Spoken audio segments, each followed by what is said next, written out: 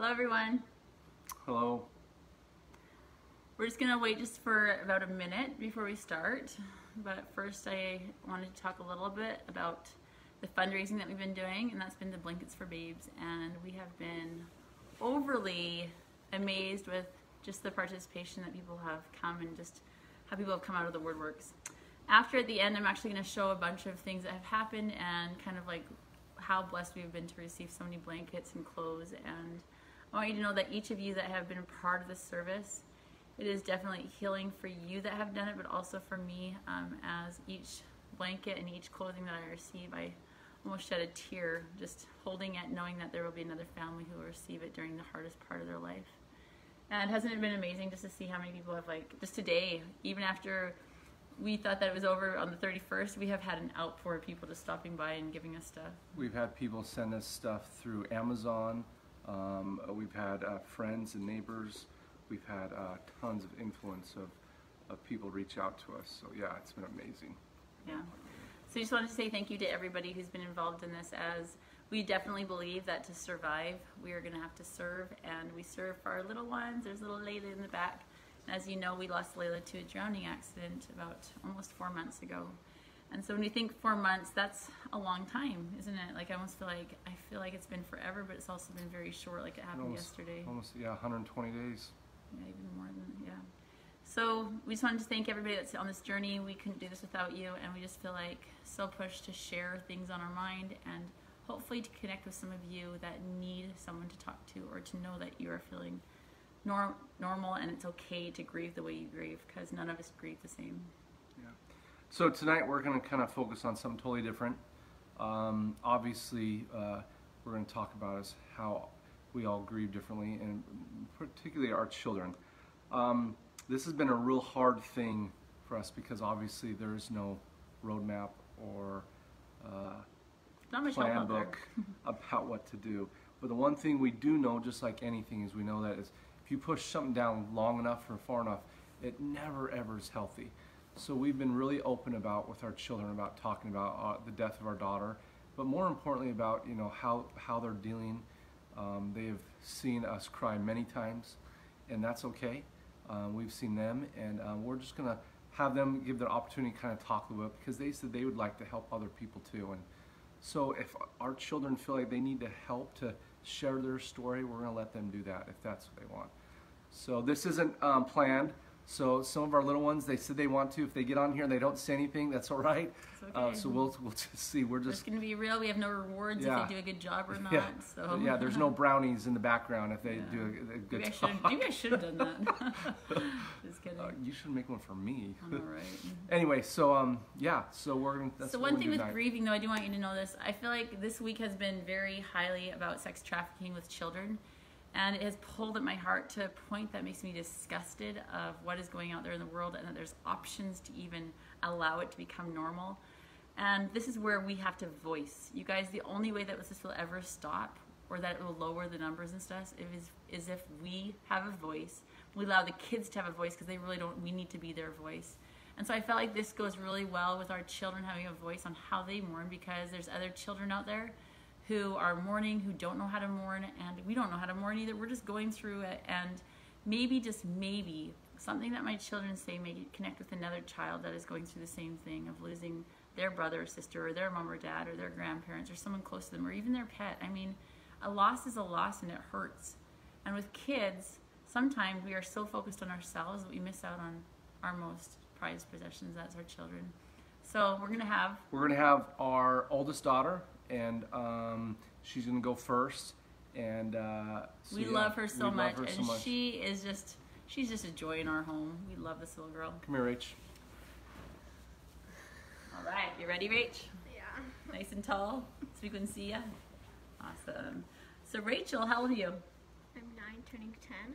She's nine, turning ten. She's so excited because her birthday's in two days. Woo! And she gets her ears pierced, don't you? Are you excited about that? Just kind of? Just a little bit? No, a lot. She's super excited. Do you just want me to ask you questions, or do you just want to start talking about Layla? No, you asked me questions. Okay. So I guess I, my main question is: Was it hard when Layla passed away? Yeah.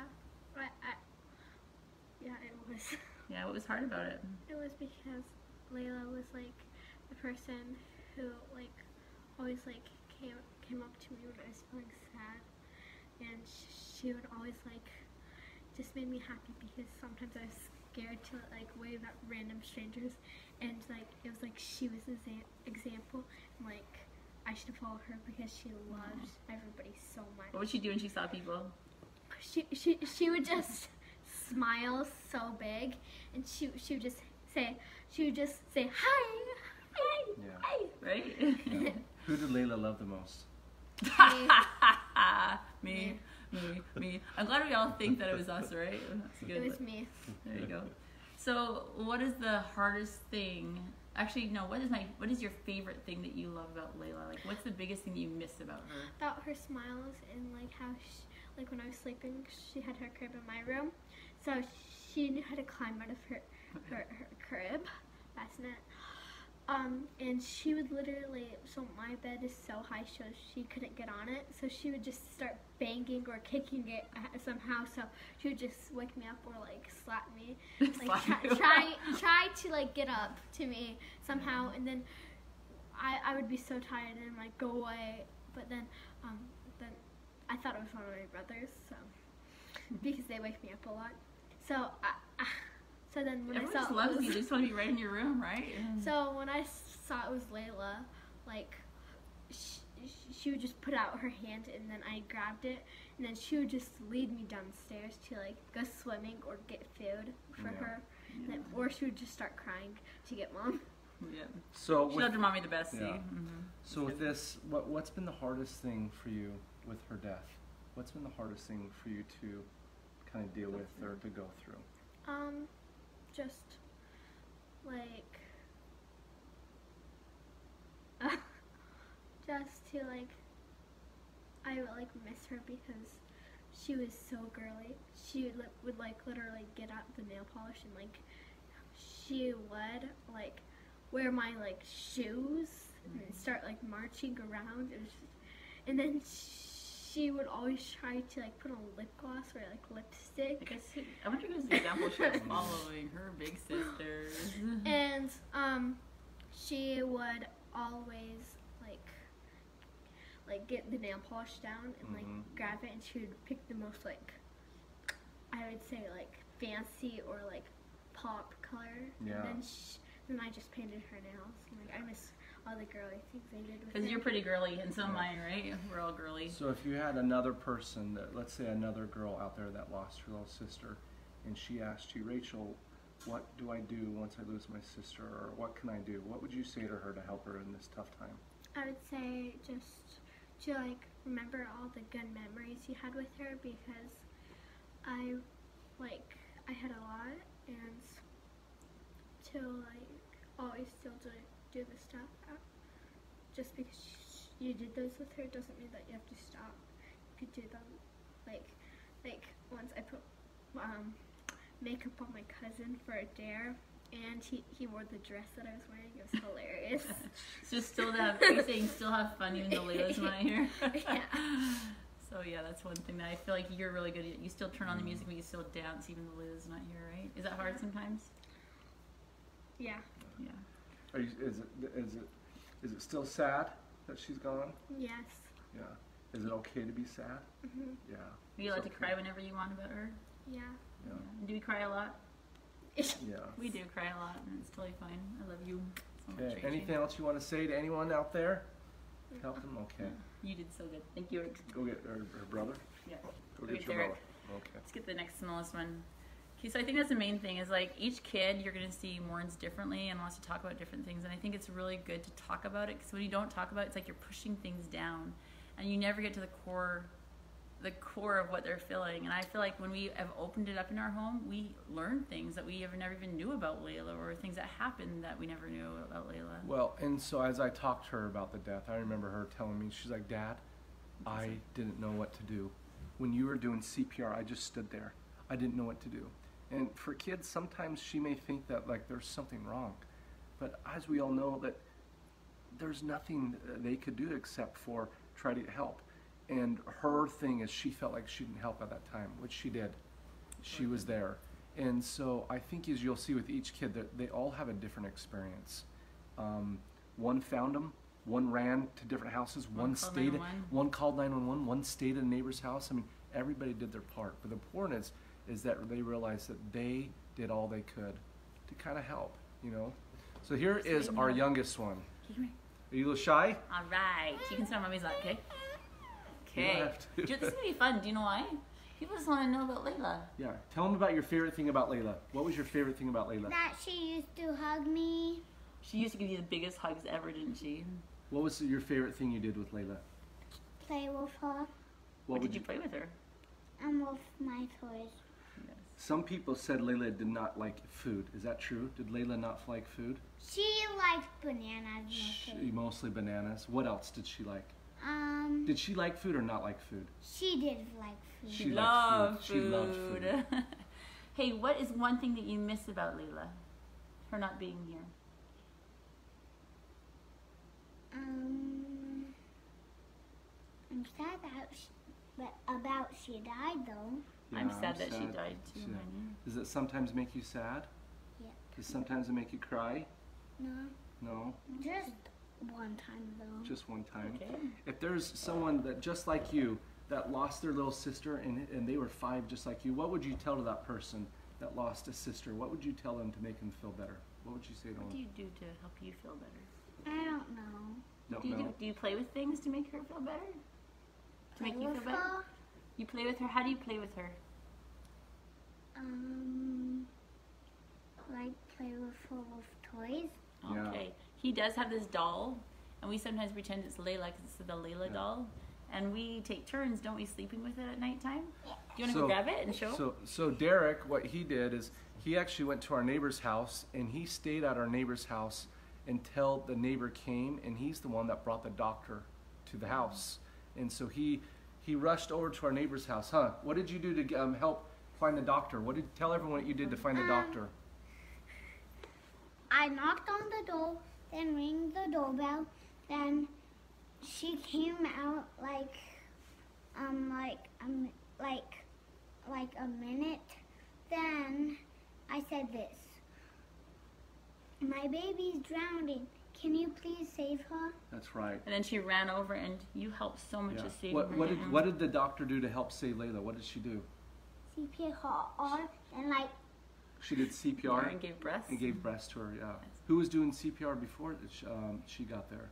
the cop. The cop was. That was yeah. after. Oh, you! Oh, His me? daddy, Daddy? then her, then the Yeah. cops. That's right.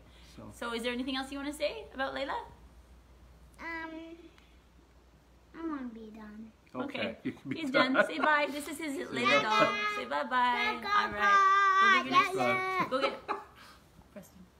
Get Preston. Awesome. And so the sister? first comment that he made when we got home is we're like, No, we're gonna show this in a little bit. we were like, how are you feeling and everything? He's like, it's okay, mom. You could just have another baby and we'll call her Layla. And so with these little ones, you're gonna see a very big difference. And I didn't have to explain everything to him. Um, I explained just small amounts in time. And since Layla did pass away two days before Easter, we had talked about the resurrection, about Jesus Christ coming back, and he, He, woke up. totally thought she was gonna be resurrected. He said, "So, mom, today Jesus got resurrected. So will Layla. Where's Layla at? Isn't she coming home today?"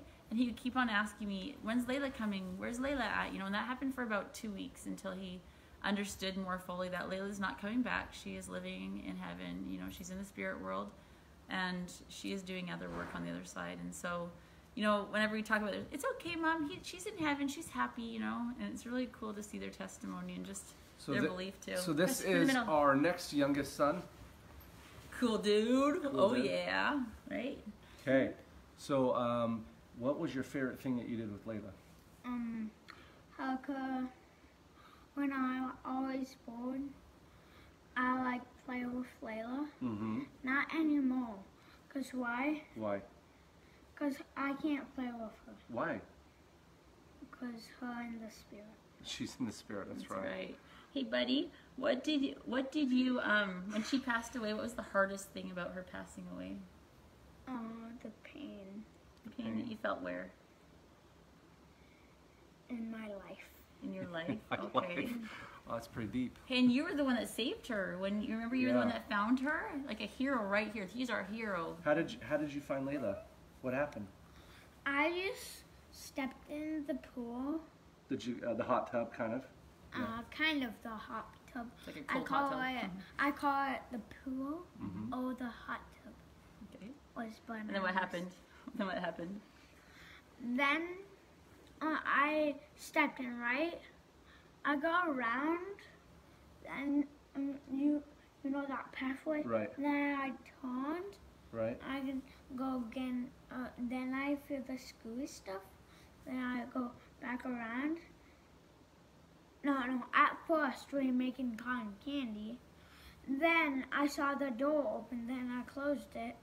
Then I actually need to go to the bathroom. Then I opened it, closed it, and I come out, closed it. Then I ate like two cotton candies. Then I run in the hot tub and go around and touch something gooey and go back. There's something on his foot that he felt, right? What else Uh, happened? the foot. Then I come up. I I thought it was a doll for a minute. I'm like, Lays, Lays. Then James just jumping off the roof about coming, and um, mom think her, her like her inside. Then dad going poo poo. Then he stepped. Then he stepped out. Then he. Uh, we I was upstairs going to the bathroom. That's yes, right. true. Okay. Then um then we got Layla. Then you And you yelled for Layla, right? You said, Yes. "Mommy, Layla," and I came running. yeah.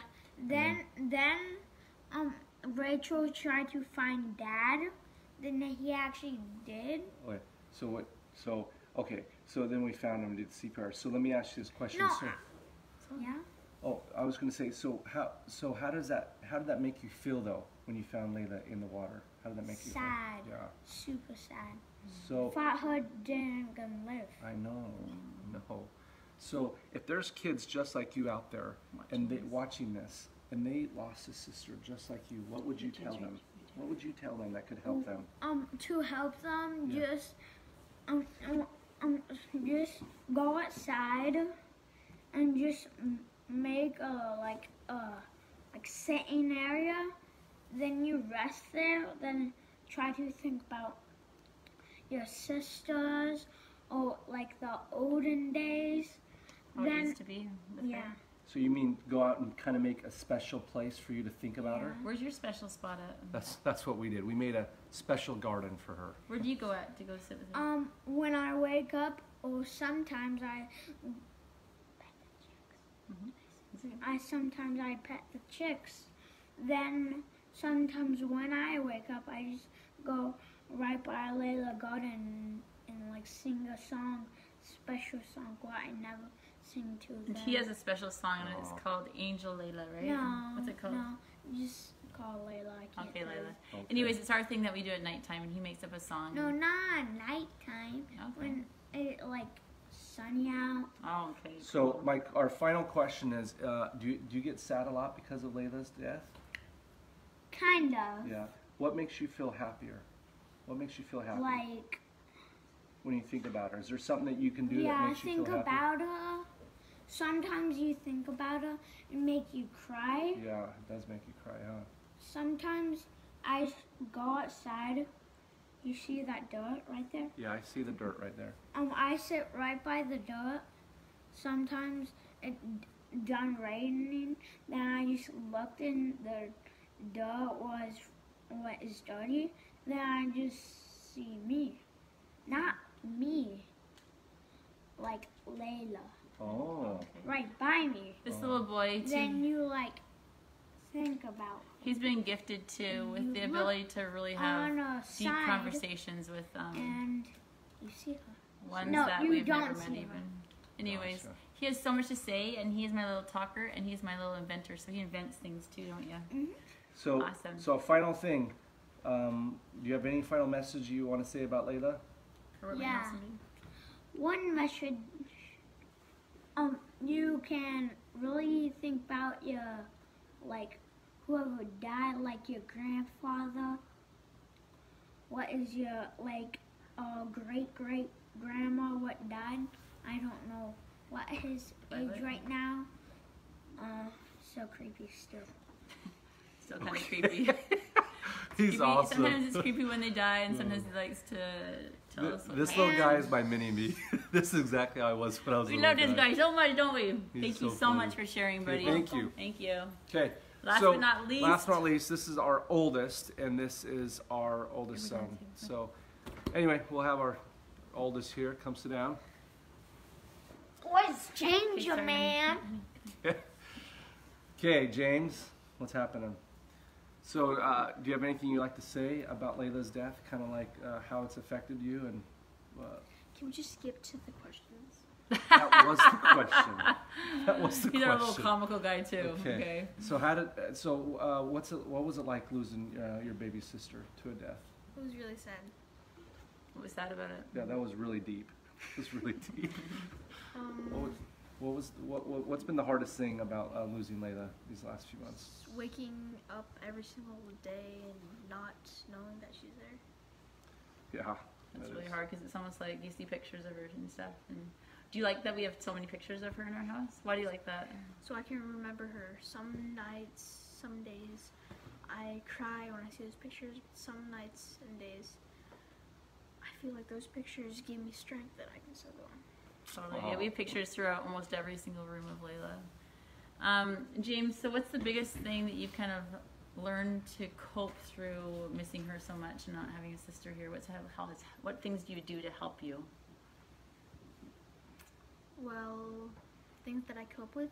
How, what, what do you do to cope with it? So you're not always. What are mad or things that help you to deal with you know Layla's death? Well, That's what coping is. I like to plant stuff, so it keeps my mind off things. And I also really feel that if you serve people, it takes your mind off you and it helps you focus more on other people.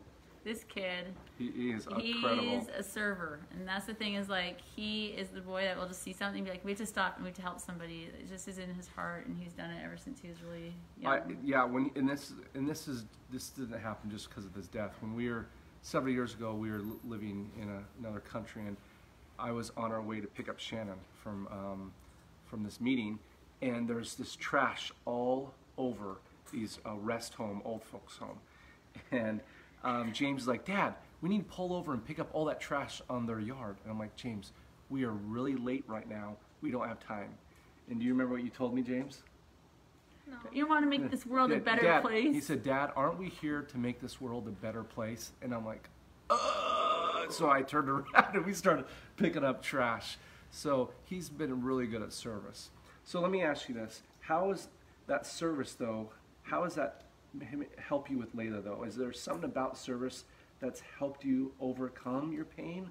Or just kind of takes your mind just away from takes it? Takes your mind off. And as you were saying when we did that, the number one thinking about was getting money for, for cans. We were getting money for cans? Yeah. yeah, we were collecting money for cans, yes.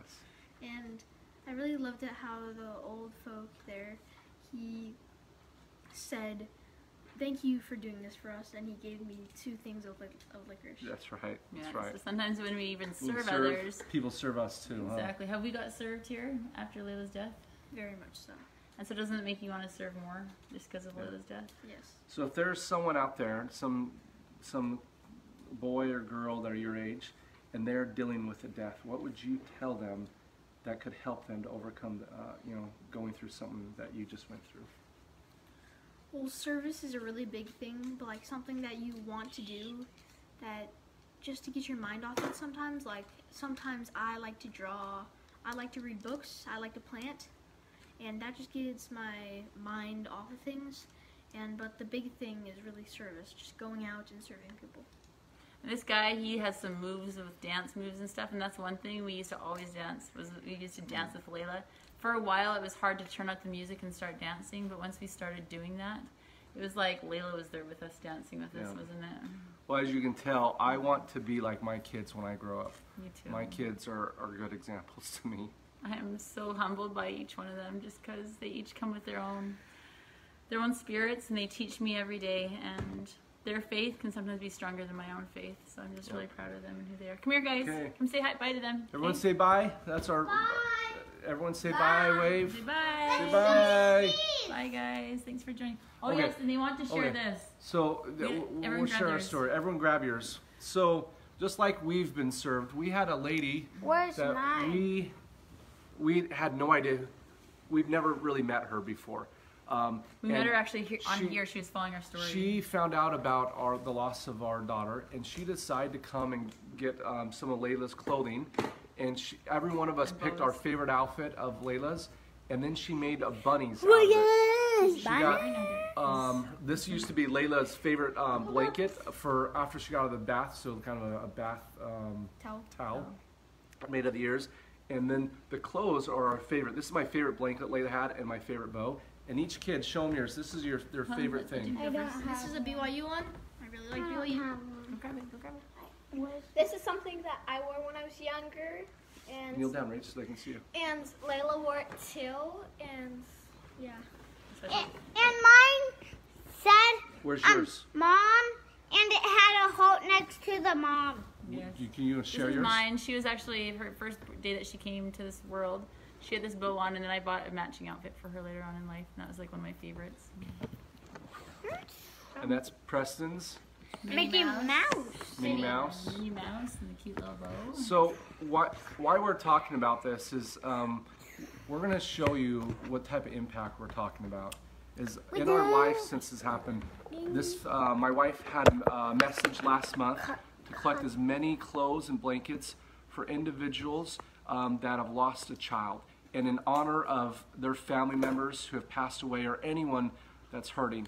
And we're going to show you all these individuals that have dropped stuff off this last month. So we had a goal to reach 150 worldwide. Um, our goal here in um, Florida was to reach 50, and that's meaning a blanket and an outfit together. And so we've had people donate either a blanket or an outfit or both, and it has been amazing, just the outpour of love. And so we're just gonna kind of show you. Remember, click on it so you can see it. I can't click on it.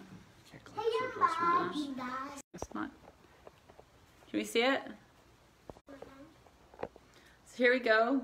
This right here is the outpour of love and support from other people, either honoring Layla or somebody that they have lost. But as you is it still working? Yeah. Okay. It's just been an outpour, and you'll see a bunch of different names too in honor of somebody else. Just dark, oh, dressed in for the last time and cuddled in for the last time, and lots of the parents as a memory sake, and the blanket as well as a memory sake. So he's trying to made out of what? A wedding dress? rubber. Out of a wedding dress for a little infant baby. Yeah, so if I put that way. Okay, anyways, we just want to say thank you to everybody for your donation of love, because that's truly what it is. So thank you. Let's say thank you. Say thank you one more time. Thank you. Thanks, you guys. And to stay tuned, I'm going to post the next video of what August, what their, what, what our service project will be for August. And we have Elizabeth Crapo, who'll be posting her first video. On but August, um, the service project this month is to honor those who are first responders. As we know, the world's crazy right now, and they're defund the police. We need policemen, as we all know, who would show up when these devastations happen. Nurses, doctors, firemen, CPS, um, cops, Ambulance. ambulance, so many more that come first. They see the tragedy, the first people to respond to the worst thing ever. And so we're going to honor them with gift baskets. Since we can't do food right now, decided to do um, gift baskets. We'll explain it more. So hopefully you guys can be a part of it. Thank you again for all your donations. We love you guys so much. Bye. See you Thank later. Bye bye.